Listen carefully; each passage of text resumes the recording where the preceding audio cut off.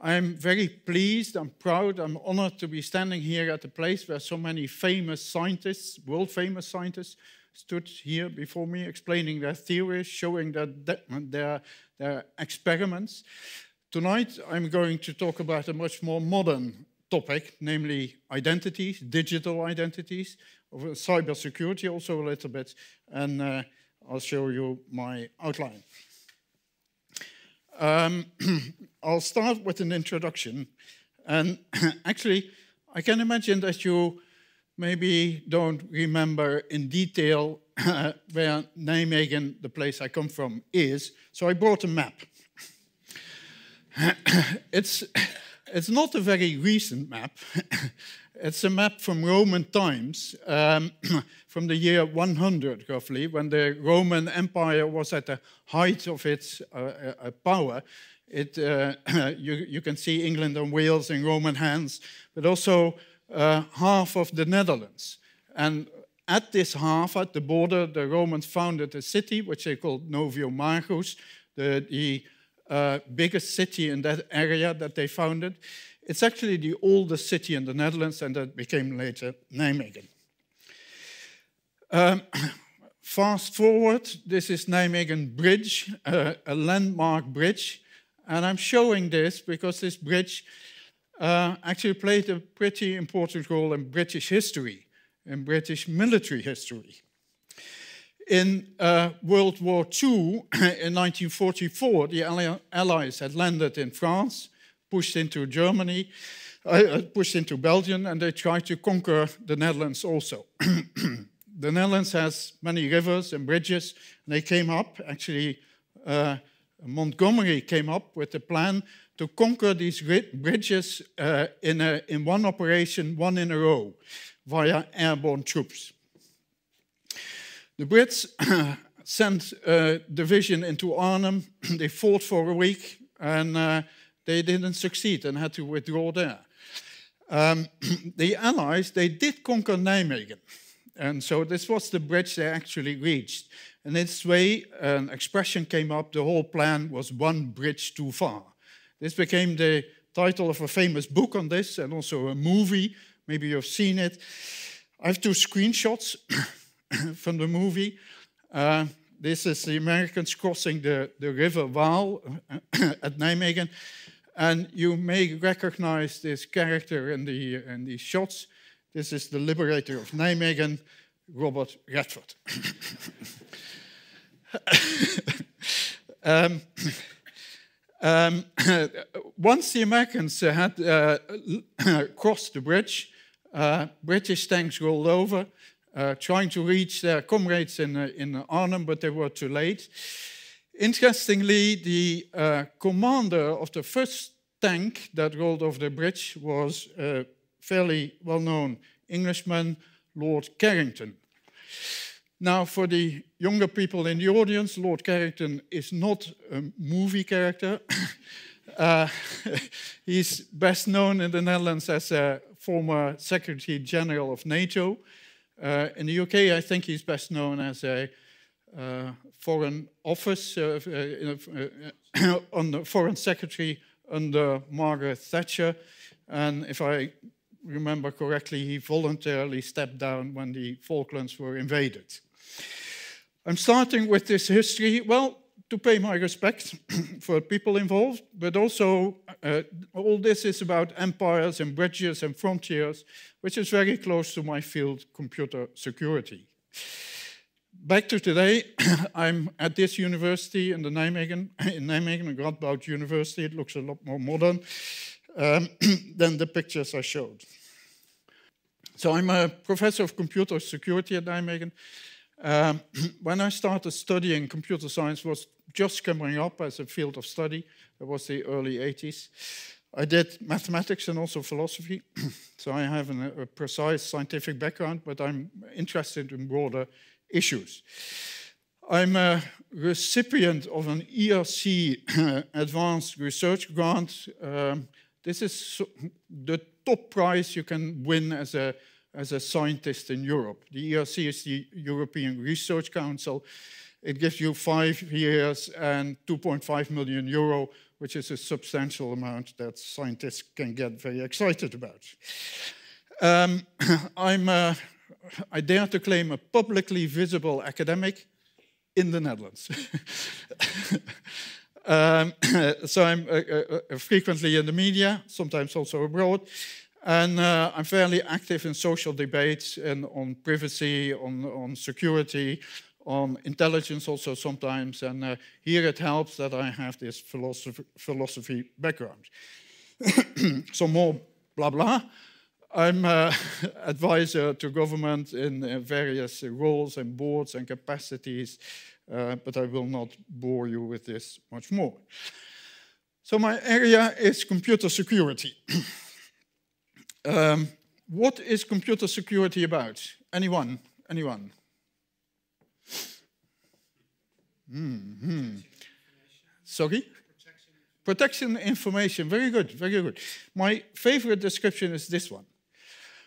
It's about regulating access to assets. I like this because of this access to assets, the, the, the alliteration involved. Um, so what are the assets? They can be uh, company secrets or government secrets, uh, uh, uh, or, or also personal information. So privacy is part of the field in the technical sense, just about protecting some kind of information. But uh, also there are lots of other issues to privacy which I will discuss today. now regulating is an important part of this. Um, um, suppose, suppose I want to uh, protect some information. I can put it in a vault and dump this vault on the bottom of the ocean. And I've certainly protected it in a specific way, but I have not regulated access to it in a very convenient way. And computer security is about this regulation. So you want the good guys to get to it, but not the bad guys.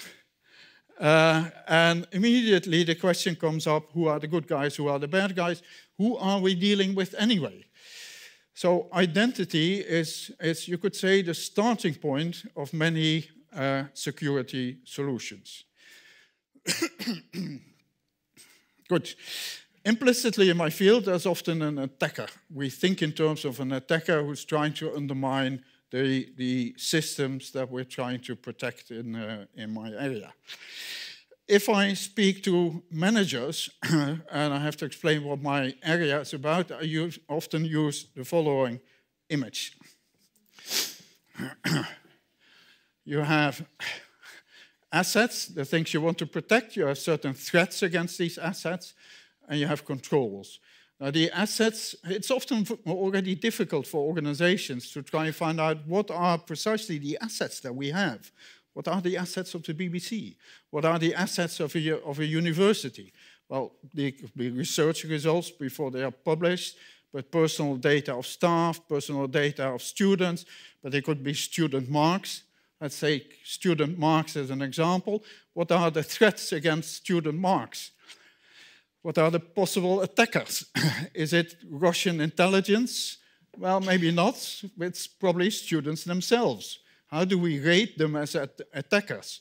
Uh, well, students typically have limited resources, uh, but they usually have a lot of patience and they are, they are clever. Uh, so, so you have to organize your controls in relation to the assets and, and to the threats that you perceive. This requires a form of analysis, which is often called risk-based analysis. Computer security is a hot topic, was already mentioned in the introduction. Um, modern societies, it's a cliche, we're highly dependent on uh, digital technology, but at the same time, that makes us vulnerable. Um, via failures, they may be intended or unintended, in my field, uh, we're specifically interested in the intended failures by the bad guys. Uh, and cybercrime, cyber uh, espionage, warfare is all part of this field in a wider context. Nowadays, also, uh, we've learned that the whole cyber area is very very fragile for, for not only uh, commercial manipulation, but also political manipulation. Facebook um, um, is the, the, the, main example here. Uh, uh, I think a, a, British parliamentary report described them this, way, this week as digital gangsters. Uh, that's something. I mean, Facebook was designed basically as a manipulation network, but primarily for commercial manipulation. And we've seen over the last few years that it could also be used effectively for political manipulation. Certainly in the US, maybe also here in the UK. I don't want to go into these sensitivities, but certainly it's a hot topic. And defense in this area is much more difficult than uh, attack. As an attacker, you only have to find one hole. As a defender, you have to plug all the holes. Um, um, what makes it difficult is that most people are strongly focused on functionality. What are the nice things you can do with computers? That's what they typically present. In my area, we focus on the nasty things you can do with uh, computers. Very few people do this, too, too few people, I would say. You see this clearly in the Internet of Things. This is this development that all kinds of devices get hooked up to the internet, from your toothbrush to your fridge to your washing machine. God knows why that happens, and all these devices are observing and sending information out into the cloud to some provider, a company you don't know. Uh, the software quickly gets outdated on these uh, devices. They, they, the margins are very small. The producers don't want to maintain this, and you're left very quickly with a very vulnerable device. So a big question is, can we, can we defend can we protect what we build? And to be honest, the answer is no. Uh, Nijmegen has a particular history in this uh, area that I briefly want to recall uh, to you because maybe you recognize something. In 2008, colleagues of mine, and I was uh, closely involved in the whole process here, we discovered uh, security flaws in the chip card called MIFARE Classic. Now, you may not know the name MIFARE Classic, but you surely know Oyster cards, and Oyster cards had precisely this chip in it. Um, we could manipulate the chip in such a way that we could top up the amounts on these cards uh, without any corresponding payment. Now, this uh, sounds very attractive, of course. This, uh, we behaved quite ethically, I can, can assure you. Um, this was a very big thing in the press. But actually, the real dangers were behind this because these cards were also used as entry cards to banks and to military bases and to government departments. Uh, uh, as I say here, uh, around 1 billion copies had been sold. Not all of them were at, in use at that stage, but really hundreds and hundreds of millions of cards had to be replaced. Uh, what we did when we found the, the vulnerabilities, we went to the card producer, which was a Dutch company called NXP, and we said, we have a, you have a problem, this is what it is, and we will publish it in, in six months uh, to make sure that you do something about it. They said, thank you very much, we'll take you to court. and we asked a publication ban. So they went to a, uh, to a judge, uh, and this is remarkable. Asked for scientific publication to be suppressed. Uh, the Dutch uh, uh judge was wise, according to my view, and said, no, you won't get the publication ban on this. And, and after half a year, we published this, and no major disasters happened. It was a big lesson for the whole world. It was covered on BBC TV at the time. uh, yeah. Uh, some five years later, we discovered uh, vulnerabilities in chips that were used in, in car mobilizers. Nowadays, modern cars, you can start by just putting, pushing a button, but there's a chip, uh, usually in your pocket, or you have to plug it in somewhere that communicates with the car. We analyzed the communication, we analyzed the chip. Again, as we would say in the field, uh, rather stupid mistakes were made. Uh, again, we informed the whole sector. We said we will publish in, uh, in uh, half a year. Uh, many, many car brands were uh, affected, including Volkswagen. Volkswagen, this was before the time they really got a bad reputation uh, for other reasons. uh, with this case, they got a bad reputation in our view, but uh, that's a different matter. They, they took us to court, but what happened? There were three researchers at Nijmegen that had done this work, and in the meantime, one of them had moved to Birmingham. And Volkswagen knew that in the, in the Netherlands they had no chance of getting a publication ban. But because one of the researchers was in Birmingham, they had legal basis to go to an English court. Now, the English court system, the legal system, works quite differently from the Dutch system, and an English law actually imposed, uh, English judge imposed a publication ban. I can still get excited about this uh, in a negative sense. uh, this is a big thing, eh? a, ju a, judge uh, forbidding uh, scientific publication. Uh, it lasted for roughly two years. Then Volkswagen got fed up with the whole negative publicity, and they got uh, uh, they basically lifted the ban. Some uh, months ago, we published another thing, big thing, uh, about vulnerabilities in memory chips, so-called solid-state drives. Uh, uh, we went through a process, like in all these cases, we notified the producers. In this uh, case, there was also a big one like Samsung was involved. And uh, um, this went smoothly from a legal perspective. We published this, and, and the manufacturers knew this well in advance. This was also covered by BBC Click on the radio, and that's where Gareth was involved. The same thing, of course, in all of this is that the world and these producers got used to these kind of flaws. By the way, uh, we also do positive things in Nijmegen, not just destructive, and I'll tell a bit about that later. I, I like to, this, this whole affair, this, especially this, this publication ban here in, in, in London was extensively covered by the British press in a rather chauvinistic way, I'd like to say, and I, I'd like to give you an impression of this. Uh, just for fun. I'm, I'm, not offended anymore. But so the Guardian wrote about this after the uh, the ban was lifted. They also wrote it about, about, it in print, but I couldn't get hold of a copy anymore, so I, I have this from their website. Uh, as I said, one of the re researchers moved to, to Birmingham and uh, was mentioned in the article explicitly. I have a quote here, I hope you can read it. Flavio Garcia from Birmingham University and two other researchers from a Dutch university. uh, I must be honest, they did mention Nijmegen a bit later on, but you, you can imagine that the researchers involved felt a bit uh, unhappy about this. anyway, let's go to some more uh, serious things. Warfare is going digital. I don't want to go too deeply into it, just some pictures, a picture that says it all. this is about the attack on the Iranian uh, nuclear installation. It has now become clear that this has been carried out jointly by the US and Israel. Israel.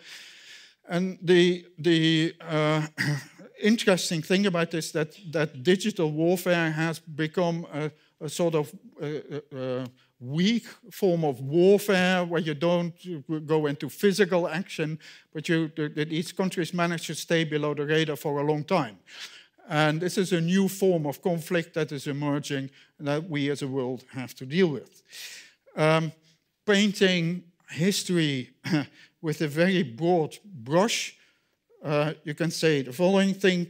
The First World War was the war of the chemists with their horrible gases the Second World War was a war of the physicists with the atomic bomb, and the Third World War, if ever, it will be a war of a computer scientist. Um, this is something you can say for sure, at least at this stage. Let me take a, a broader societal uh, perspective. Um, if you want to understand uh, power relations in society, uh, the saying used to be follow the money. Follow the money. This is very clear from uh, this uh, movie, All President's Man, where when Nixon, uh, uh, Nixon team broke into the Democratic headquarters, this was unraveled by uh, Washington Post journalists by following the money. That's the, the key theme in that movie. As you can see from this clip, maybe you recognize the, the liberator of Nijmegen, Robert Redford. This is a coincidence. You might start to think I'm a big fan of him. I'm not, but. okay, but nowadays, my main point, I had a serious point here, which, which is maybe escaping now. The main, main point is here if you nowadays want to understand so, uh, power in society, you have to follow the data. That is the guide to power relations. And big IT companies have understood this like no other. Google is into uh, driving these days. Not so much like that they, they like cars uh, and car mechanics, but they just want to get more data about us, where we go, at what time, where we stop, etc., etc. That's the whole thing. And we call computer security about regulating access to assets, and data are assets. So it's very close to power relations in society. Um, also, the last bullet is a, is a very fundamental point. In our societies, we have many rules and regulations by now to control the flow of money, but not so much about, basically none, about the flow of, of data. And this is uh, one of the underlying themes also now in the discussion in the UK about Facebook. Uh, what's the role of computer scientists uh, in all this? well, again, the traditional view is uh, computer scientists are the architects uh, of the digital world. Fair enough, fair enough. Uh, but I think it's more justified to say these days that they have become the architects of the social world. If you look at the impact of systems like Facebook and how they, they are organized and how data is controlled in these kind of systems and how this influences people's lives, Uh, we have to look as computer scientists, and this is a, an appeal also to my own community, we have to look beyond the technicalities of our own field. And this social aspect and also this responsibility is very big in the area of digital identity, about which I want to talk now. Good. um, when is identity needed? I'll, I'll uh, mention a few examples uh, to you. Um, for online banking, if you do online banking, well, first of all, if you log in, the bank wants to know for sure who you are, so that it shows you the appropriate account and not for so, someone else. So you have to prove as a user who you are. Now, this is called authentication in my field. Authentication is proving who you are. Um, in principle, each transaction also has to be signed, digitally signed, so that's clear that you gave the order to transfer this kind of money. Uh, now, authentication is reasonably well uh, regulated these days, but signing not so much. Uh, it's, not, it's not part of our infrastructure. Another example, if you want to buy alcohol, in most countries you have to be over 18. um, um, what's the policy in a supermarket? You have to show your passport, at least in the Netherlands, or your ID. I don't know precisely how that happens in the in the UK. What what you have to show, uh, but uh, and the, the, rules in general, if you look under 25, they'll ask. but suppose now you want to buy alcohol online, and the the shop, the off license, the online off license, asks you to upload a copy of your passport. Would you do this for buying a bottle of wine? I see some people shaking and happy. No, why not? Why not? And the reason is that it's a complete overkill. you show them so much information which can be abused in all kinds of ways.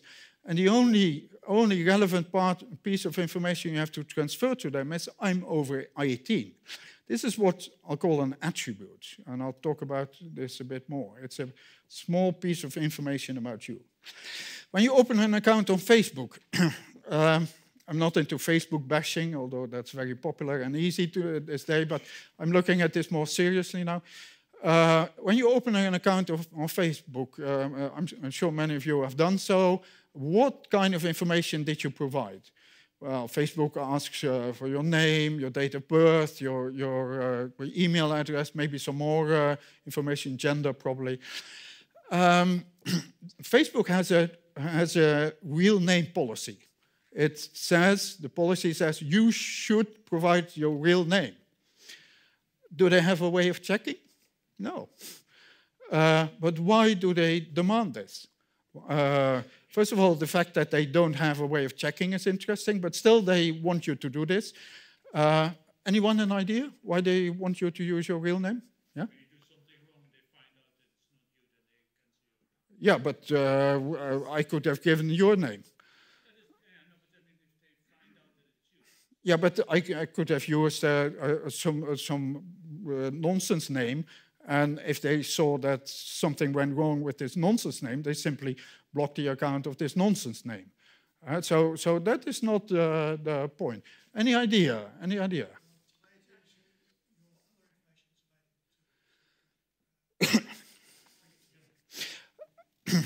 close, close, closer.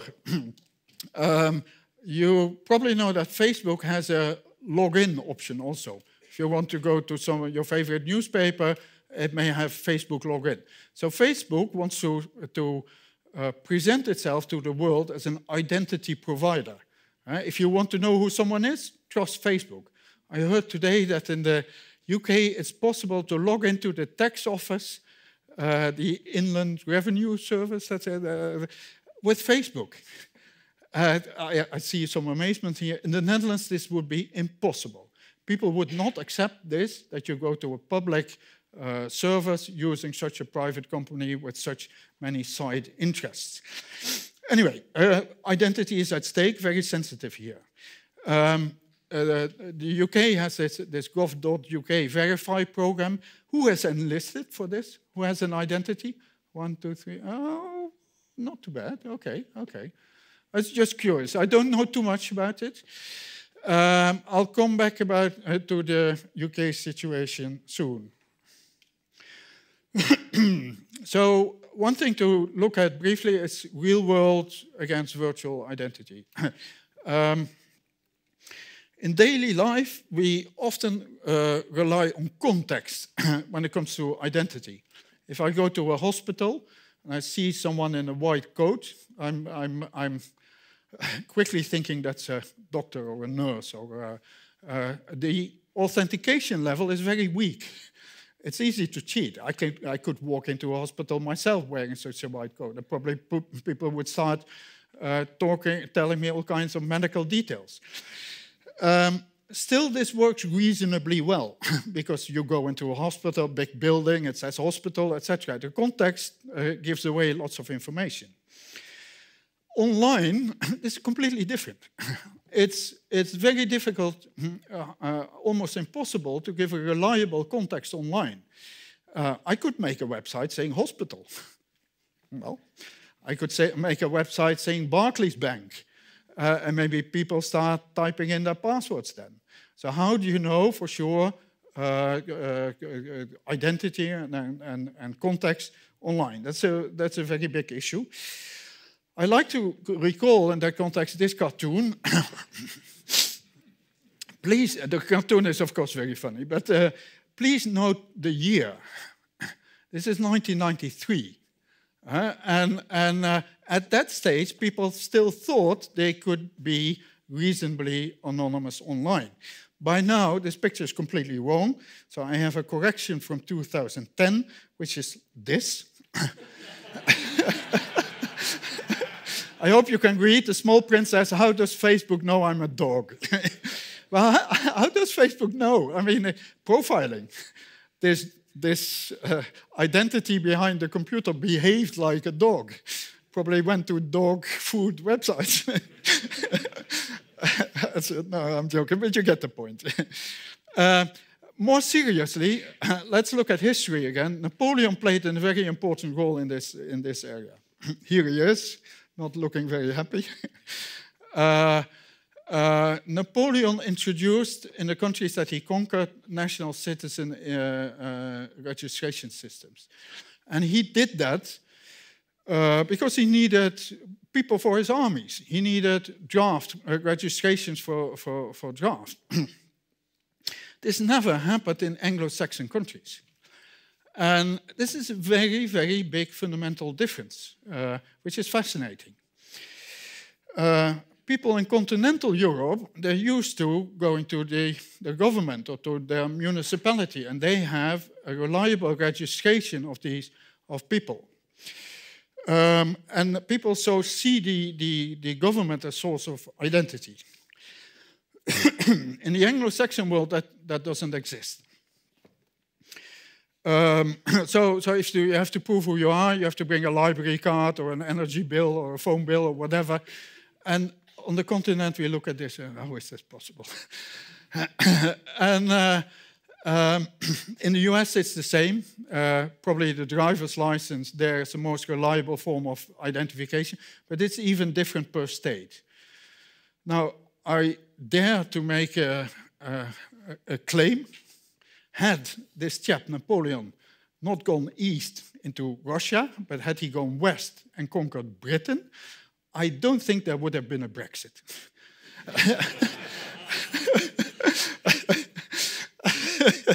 because it's really how you look at the role of government, of institutions. And so, of course, it's a, it's a joke, but I think there is some level of truth in, in, in this, what I'm saying. Okay, so uh, I've been talking about uh, Britain and the continent. Uh, that's the only Brexit joke I'll make tonight. Uh, um, but there are subtle differences between other countries. so Germany and, and, uh, and uh, Great Britain don't have national identification numbers. Britain doesn't have it because you Brits are, as I like to call, identity anarchists. Um, what about the Germans? The Germans are a very, very uh, well uh, organized uh, uh, country. Why don't they have a national identification number? Well, they have a rather sensitive history of abuse of state power. So, so this is impossible in, in Germany to have. Again, you see how identity is subtly related to power, the relation between power of, of state and individuals. The Netherlands does have a national identification number. It's called BSN for the people with a Dutch background here in the audience. But we have some sort of compromise that it's, uh, you can only use it in a public uh, setting and not in a private setting. Why not in a private setting? well, if companies are allowed to use such a number, they can register it for each transaction, everything you buy or, or buy online, and they can combine all these transactions and build up together a, a very extensive profile of, of, people. So there are actually subtle reasons uh, behind this. Scandinavian countries, they do have national uh, identification numbers, but they can be used both in the public and the private sector. So Scandinavian countries have a high trust factor, um, and uh, things work differently there. so what I'm going to focus on is, is these differences in, in uh, identities. And here, attributes come up. What are attributes? Attributes are properties of people. so let me mention some examples. Your given name, your family name, uh, your physical address, your email address, etc., etc. Uh, so these are, are, examples of attributes. Uh, your medical dossier, that's too big. That's not an attribute. Your tax form, uh, your, uh, your tax dossier, it's also not an attribute. Attributes are used for authentication, for proving who you, who you are. Uh, some attributes are identifying, your, like your passport number uh, that identifies you, certainly in a, within a country, or student number within a university. But some, some attributes are non-identifying, like your gender. Um, or the fact that you're older than 18. Uh, maybe you want to uh, play some hefty game online.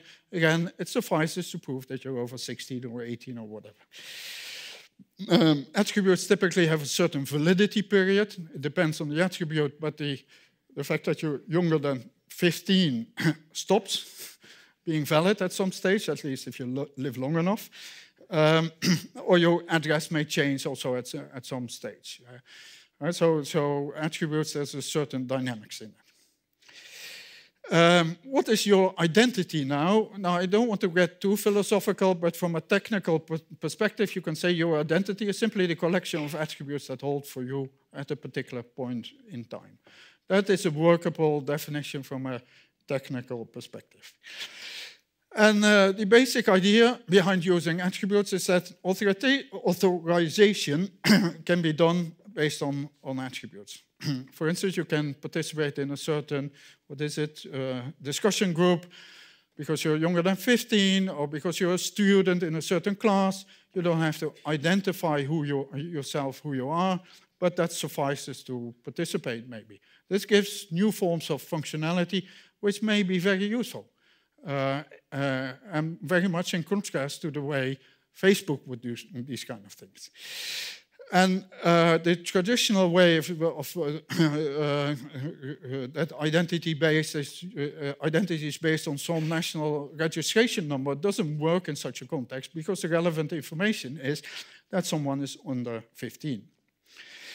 Um, the selection of these attributes for authentication should be minimal according to the GDPR. The GDPR is the General Data Protection Regulation that's in force in Europe since almost a year.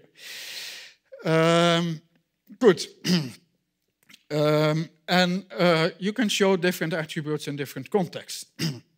so if you order a book online, you have to prove what your address is for delivery and what your bank account number is for for payment, but that's it basically. Well, maybe if you're over 16, if it's a certain kind of book, but okay.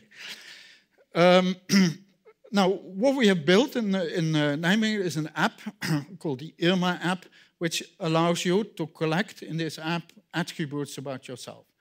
It's sort of a personal passport on your phone that uh, where you can collect these kind of things. Um, the attributes are stored only on the phone. They are digitally signed, uh, so the, their source is, uh, is, is, reliable, is visible. Uh, there are, uh, some deep cryptography behind this that uh, uh, that's our, our main, main line of work. And it's freely available and open source. And I'm, I'm going to do a very dangerous thing. Namely, I'm going to give a live demo of this. and what I have here, if it works, is a website of the foundation behind uh, this IRMA project. And on the right, I'm, I'm mirroring my phone. So what I do on my phone here, you can see on the screen. I've just opened the app. Now I have to type in a PIN. I trust you all, but this is going on the web.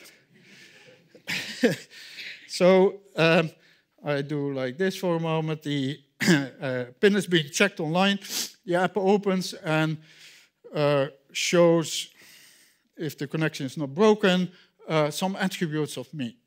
Again, because I'm, uh, this is going online, I'm, being, I'm a bit cautious about what I'm showing here because I, I don't want to get into trouble here. Uh, so my phone number is here. I'm not going to show it. Uh, there's some Twitter information from here uh, my BSN is in here. This is this national citizen identification in, uh, number. My bank information not going to show. Uh, SurfNet, uh, that's uh, information from the university. I'm not going to show. I'm going to show you my age limits. I'm over 12, 16, 18. but not yet over 65. but other things really contain my home address, my uh, um, uh, etc. Sensitive things which I've collected uh, in this uh, app. Now, how is this app used? Well, there are some uh, on the website of this foundation. There are some demos. You can try them at home if you like uh, later. And they're like a student check and an 18 plus check. There's also uh, this is my favorite. It's a, it's a privacy-friendly Netflix. So here, here you can watch movies online. and uh, uh, here, for this movie, you have to be over 12. Uh, for this one, there's no age limit. Uh, this one's 12. There's no age limit. Here is a more hefty one. That's 16. You have to, uh, to be. Okay, let's because also this is going online. Let's do not the let's do an innocent one. Suppose, suppose I uh, want to uh, watch this movie. How do the attributes from my phone get to this website? Well, I clicked the movie, uh, a QR code comes up that I can scan my phone. You can see this is live. Uh, I'll scan it here on my computer. And please watch my screen. It's a little bit slow because I'm tunneling everything through my phone, which is using roaming, uh, but it can, can work a bit better. It asked me to, to reveal just one thing, that I'm a member of this club. I say, okay, I'm willing to reveal this. I'm not showing which member I am, and then the movie starts. um, okay. Although it's very interesting, I'm going to stop this. Um, I can, it's also, let's say, an 18 plus check. so this is, there's some uh, text around explaining what's going on. I can uh, prove that I'm over 18 in the same way. I'll do it quickly because you see how it works. I'll go to scan this. Yeah, I get a request. Uh, do I want to reveal that I'm over 18? Um, I can do it in two ways even. Uh, I say yes and the website shows me some access to some game uh, which is rated over 18. Now, I understand this is uh, a, a, a, very hot topic in the UK because uh, certain websites have to uh, include age checks at this stage. Here is the technology. you can use this, it's freely available. Um, be my guest. I'm going to show you some, something else. Um, uh, you can also uh, put signatures. I'll show you how this works uh, uh, simply by demonstrating it and then I'll explain as we go on. This website asks me to sign something and I do this by first scanning a QR code. Come on, yeah. And now please look at the phone.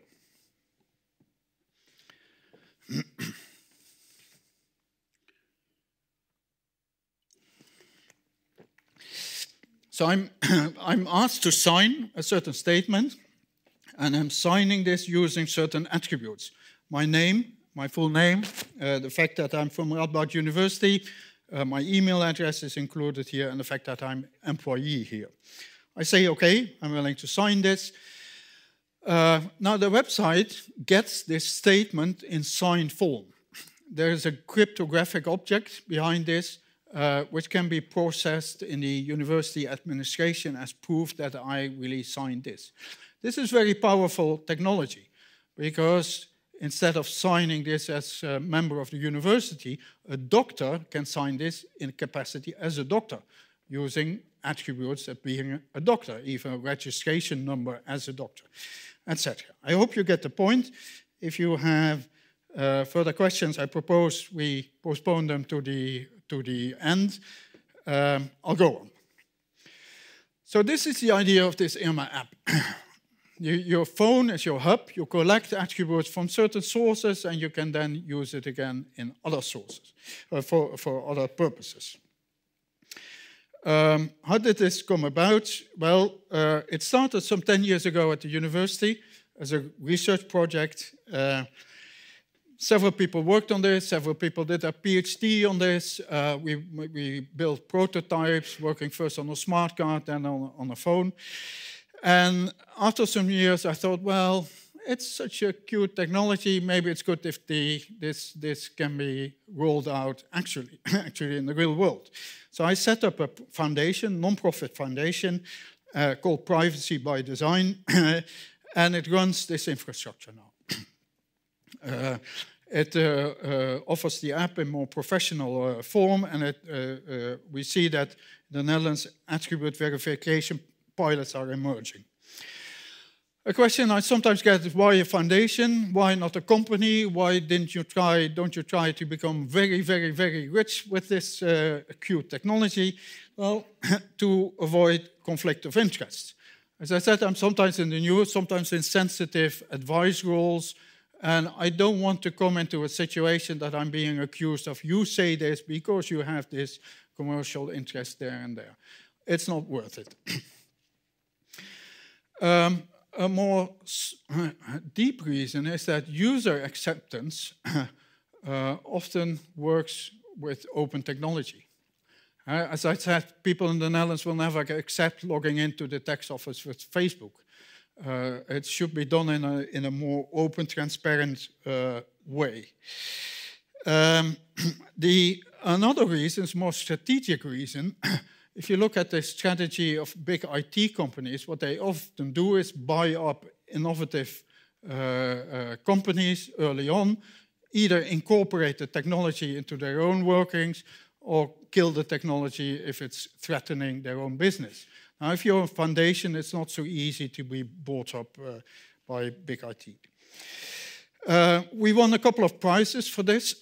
uh, uh, some privacy awards, some internet innovation award, some Brouwer prize. The prize in the middle is from the maybe the Dutch equivalent of the Royal Institution. What's very nice about the prize in the middle is that it came with 100,000 euro, which is useful for a foundation like ours. The juries generally appreciated this fact that it had a solid basis and uh, etc. Um, when you start a new identity system like this, there is a chicken and egg problem described here. Websites are not going to use it if there are no users, and users are not going to install the app if there are no websites. How do you solve this? Well, as a foundation, we decided to solve the chicken problem first, to make sure there is this app, that it can be filled with attributes, and then work on the eggs later. Now, we're now clearly in this egg stage, uh, certainly in the, in the Netherlands. Which sectors are then uh, leading there? Just to give you an impression, municipalities. uh, it comes really bottom up. Uh, it's not picked up by national government uh, for, for uh, interesting reasons, probably because it's outside their control. they, they, find that very uneasy. but local governments, they have a different attitude. Um, local governments have connected this IRMA system to the national registration system for, for citizens in the Netherlands called basisregistratie. This is really a strategic breakthrough because it means that we can have really reliable government level uh, attributes in this uh, system. In healthcare, we also see that companies are picking this up now very quickly, uh, for both for patients and for medical staff because both patients and staff can log in with this system, but also they can both sign with it. And so patients often have to sign for consent, and uh, medical staff, they have to sign orders for recipes, etc. I'll show you a little bit about this. Education is also a sector that's active in this. Web shops, the commercial sectors are a bit slower in this, um, but because they see there are the, this, uh, um, they see the system as slightly too complicated. But they will follow, I, am sure. Um, I'll flash you some websites just to give you an um, impression. Uh, this is on the city of Nijmegen. I'm very proud that Nijmegen as a city is also active in this area. So they open up the, the, the citizen administration for everyone in the Netherlands. You have to log in with DigiD. Dutch people will recognize this. It's the government authentication system. And then the the city puts these attributes in your phone and puts a digital signature on it. Um, this is from a, a, ICT company in healthcare.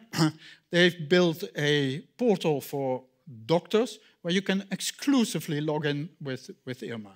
This is now being used by dozens of doctors, but they're planning to scale to hundreds uh, before the summer and to thousands before the end of the year.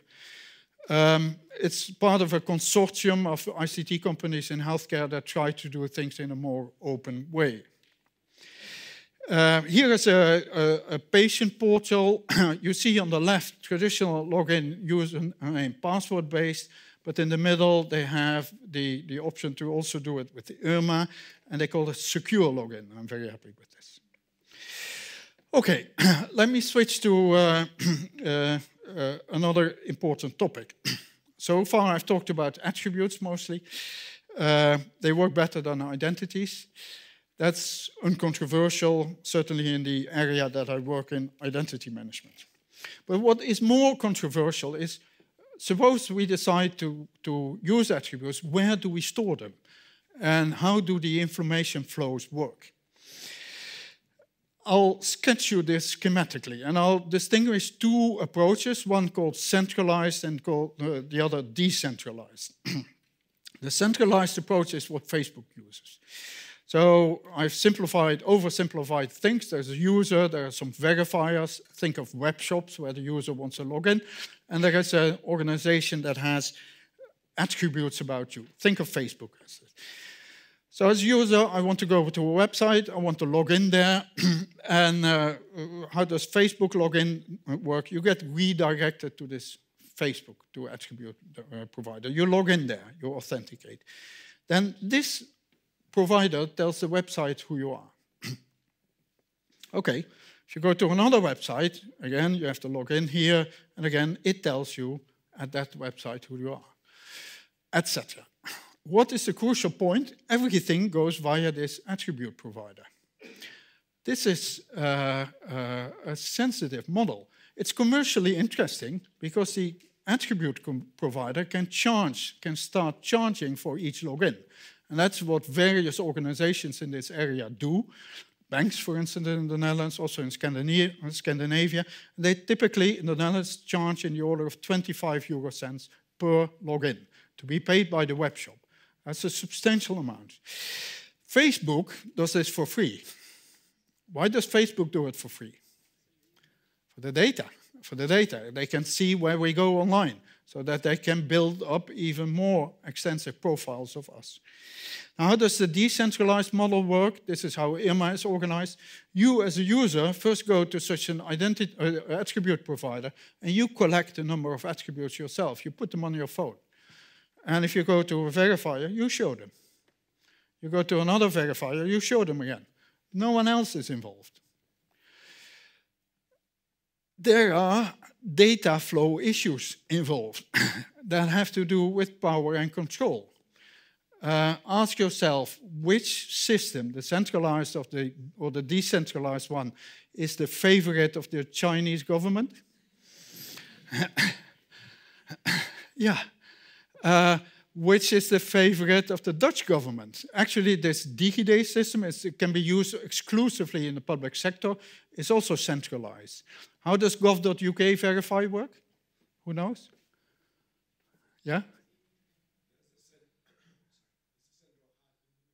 Yeah, it's a central hub in the middle. I haven't studied all details, but there's a hub in the middle run by the government. So the government sees about everyone where you log in online, including in the private sector if it's, if it's used there.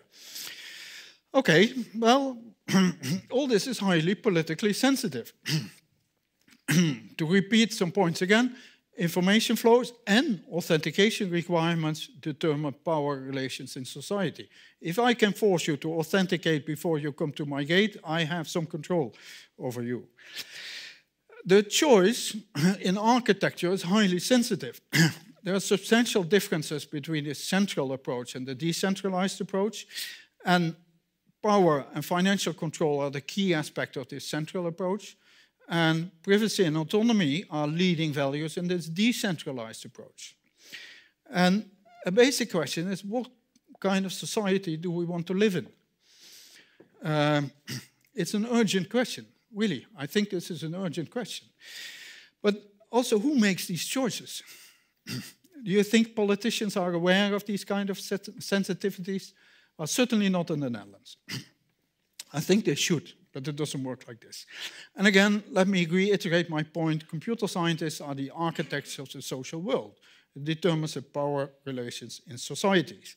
Let me make this a bit broader. The world's platforms, again, I'll use a big brush and I'll compare US, Europe, and China. US, we all know these platforms. They de determine our lives to a large, large extent. what do we have on the Chinese side? Where Baidu, Alibaba, Tencent, collectively often called BAT, they are really dominating Chinese, uh, uh, the lives of Chinese people. What do we have in Europe? Which global platform do we have in Europe? Anyone? Spotify, very good. It's the only one. it's the only one we can think of. I can think of. This is a bit of a worrying slide. what are we doing wrong in Europe? Well, let's focus on the US-Chinese agenda a bit. there is no, uh, uh, this is my analysis of a joint agenda. Both, both, and both of them are very much interested in controlling digital identities. They wish to know precisely who does what, when, where online. And their goal is to build up detailed profiles. the US platforms, they have mostly commercial motives in this. Let's be fairly clear about this. But also, we've seen it can be used for political manipulation too. Yeah. the Chinese platforms are really intertwined with state power. uh, and they're, they're instruments of the state. Uh, I don't know if you're following these developments about social credit scores in, in uh, China that allow you to, to, to take a plane or to go to university or whatever. That's all integrated with these platforms. and all these platforms, they work on the basis of unique identifiers, not attributes, unique identifiers, so that they can precisely follow what people are doing where online. Cambridge Analytica. I have to mention it in this context. Uh, I think a widely shared sentiment, at least in Europe, uh, is we need another kind of IT infrastructure for, the, for this. Um, one in which European values are embedded. Okay, we can discuss about what European values uh, uh, are here. I don't want to go deeply into this road, but I, I hope you get the idea here um, uh, people are talking more about value-driven design, which is the I think, is. and ultimately, this is a geopolitical matter. Uh, developments in the US are driven by the commercial sector, in, the, in China by state power. What in Europe? What can we put uh, in this framework? And maybe civil society should take a stronger role in this in Europe. This is my point I'm trying to put forward here. Uh, IRMA, I'm proposing in that sense. what is the international dimension of it? um, there are by now some more than 5,000 registrations of the app worldwide. We keep on our website a, web, a, page where we, we can log where, in which countries people have registered for the app. Not just installed it, but registered. Um, in the Netherlands, that has 90% of the registrations. The use stage is now coming up. In the rest of the world, the app cannot really be used. But still, uh, uh, quite a few people installed it and uh, just to try out the technology. It's worldwide available. Um, and the decentralized approach makes it very suitable for international usage. If you go to another country, you have the attributes on your phone, and, and you want to show them there. All that that country needs is public keys. It gets a little bit technical maybe now, but some open source and some open source software. And again, my main point here, one of my main points is that attributes can really reflect different cultures, uh, different cultures with respect to identity. And these differences are substantial. The Facebooks of this world, they want to impose one number, one global number, so that they can track us. Uh, uh, IRMA is more uh, for diversity. Um, this came up in the Netherlands. How are we going doing this internationally? Not very well. We're not concentrating on this. We're a small foundation. Our, our aim is to get it up and running in the Netherlands uh, first, and then countries will probably get interested. But it's available in other countries. But in order to expand to, let's say, Germany, we need a connection to German citizen registration numbers to get uh, reliable sources of attributes. So this will probably, expansion will probably go in a hop by hop basis. What attributes are available now worldwide that you can use? Email address, you can put already in it. You can uh, uh, get uh, attributes from social media, they're not reliable. also from eduGAIN Un International University context to some extent, mobile phone numbers we support in the, in the EU. But again, they are not high assurance attributes. Um, still, it's already useful. Uh, websites can base login just on email attributes that you allow uh, people to log in if they can disclose what their email is. Then these websites don't have to manage passwords anymore themselves, which is already a big gain. They can also do signing. and here in the, in the UK, I do have some contacts. I'm uh, talking uh, to companies like digi.me and Yoti.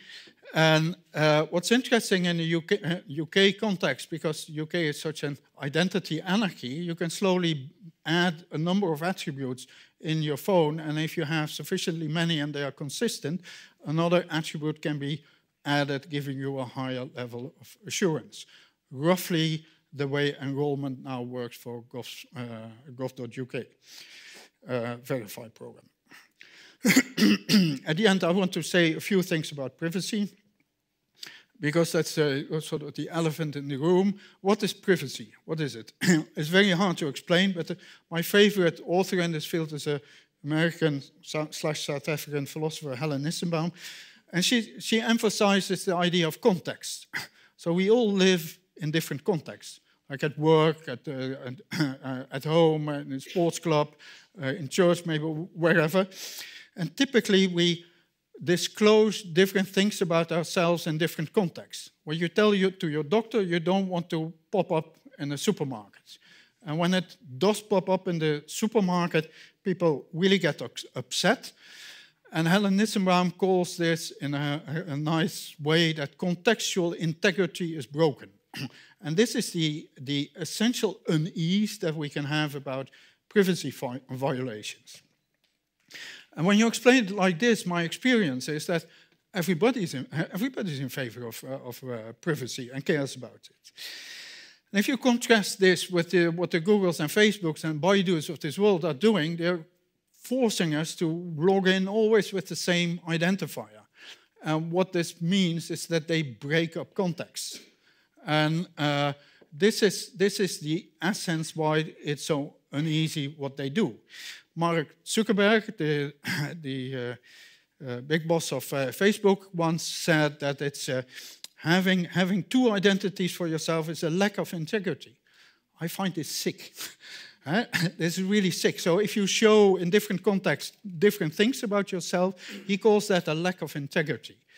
Uh, of course, he says that for commercial reasons to make us think uh, and uh, to, to make sure that we're stupid enough to put all our sensitive data into his systems. There's a story that a couple of years ago he bought a new house in California. He did not buy only this house, he bought all six houses around it. For what reasons? Privacy. uh, GDPR is a big thing now in Europe, and let me briefly connect it to IRMA. So GDPR is, is this thing. According to the GDPR, people have the right of access. You can go to any organization and ask, show me the information you have on me. But that organization has to be sure it's really you. Because if it's showing someone else's information uh, to you, that's a data breach. Uh, so authentication is required there. Now, the GDPR is a law written at a very high level. It's technologically neutral, but really it requires implicitly an authentication technology that is flexible. uh, under the GDPR, one of the processing grounds for, uh, for uh, processing uh, uh, personal information is consent, that the individual involved agrees to this processing. Now, how do you register consent? Again, that's not uh, written down in detail, not at all actually in the GDPR. Many websites uh, do this via box ticking. You probably know this, but I mean, any website operator can generate these box ticks itself. It's, it's not at all guaranteed that it's really you uh, uh, doing this. And some of those, the things are quite sensitive. If you agree to, to be enlisted in some donor register, for, for instance, is this just a box ticking? I think we should organize these thing, kind of things in a bit more solid way, maybe via digital signatures. A third point is that the GDPR talks, one of the, the underlying things is data minimization. now, and again, IRMA enforces this in two ways.